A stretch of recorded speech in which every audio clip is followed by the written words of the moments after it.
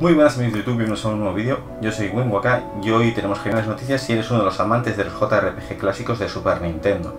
Y es que recientemente Yosuke Matsuda, el presidente de Square Enix, ha declarado que Trials of Mana, el remake del juego de Super Nintendo que solo salió en Japón y que vendió sobre 900.000 unidades, este remake que por fin ha llegado en Collection of Mana a Nintendo Switch el año pasado y que este año han hecho ese remake del juego de Super Nintendo para Nintendo Switch, PlayStation 4 y PC ha superado los 5 millones. Unas noticias fabulosas si eres uno de los amantes de estos juegos porque es una manera de volver a vivirlos de nuevo. Eh, Trials of Mana la verdad es que yo no lo había jugado de ninguna de las maneras, ni en Collection of Mana. Eh, sí que había jugado Secret of Mana. Si me conocéis, he declarado muchas veces que Secret of Mana para mí es el mejor juego de Super Nintendo y que le tengo un cariño especial. Lo tenéis en el canal subido directamente. Trials of Mana también está subido, lo podéis buscar en lista de reproducciones. Igualmente os dejaré una etiqueta aquí y en la caja de comentarios para que lo podáis ver, esa lista de reproducción.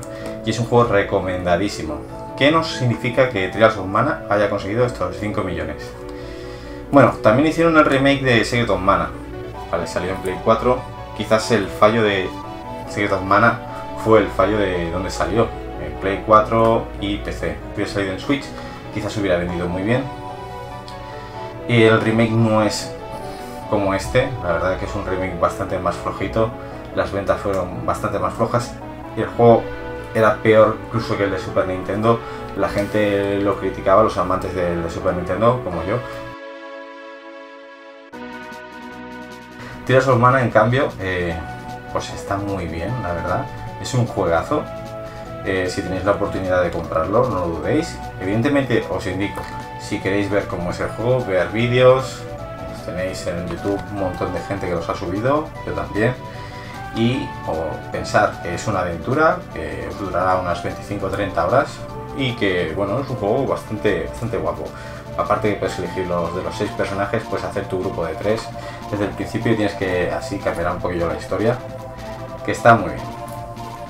¿Qué significa esto? Porque con Trials of Mana si Square Enix está contenta, que han dicho que sí, que han cumplido las expectativas, igual que con Final Fantasy VII Remake, que aún a pesar de que no haber conseguido las cifras que esperaban, aunque siendo el primer capítulo, y que solo ha salido en Play 4, tendremos más noticias cuando salga en PC y en Xbox One, o Series X.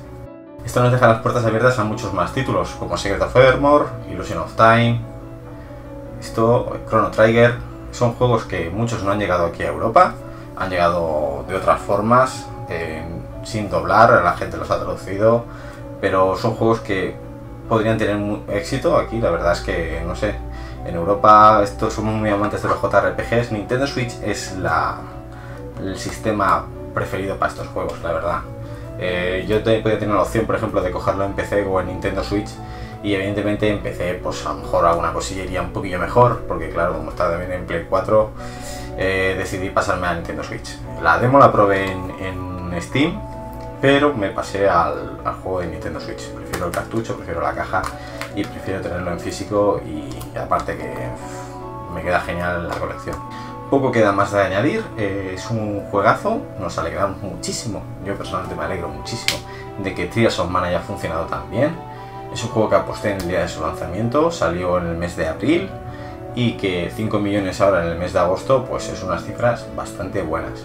Esperemos que su recorrido sea bastante más largo y que bueno pues ya nos traigan más juegos de la, saga de Maná o otros Secret of Evermore, Illusion of Time, como os digo, Chrono Trigger, juegos que muchos nos hemos quedado con ganas de, jugarlos, que nos salían en las revistas eh, cuando éramos como los chavales y que al final a Europa no llegaban por llegaban a lo mejor por importación y demás, pero claro, con textos en japonés y demás era más difícil. Igualmente hay juegos que podemos disfrutarlos ahora mismo en Steam, como Chrono Trigger, pero quizás esperarse al momento de, que, disfrutarlo así en un remake, pues puede ser como el Secret Setsu 3, que no lo había jugado en su momento, que sí que tenía posibilidad de jugarlo luego en Super Nintendo, de la versión de Super Nintendo en Collection of Mana, pero que me esperé a este remake y este remake me llamó la atención muchísimo y, muy satisfecho, uno de los juegos del año para mí y, y espero que vosotros le deis una oportunidad ya me decís qué, os parece, si lo habéis jugado, si qué tal os ha, parecido, si cumple con vuestras expectativas y nada más.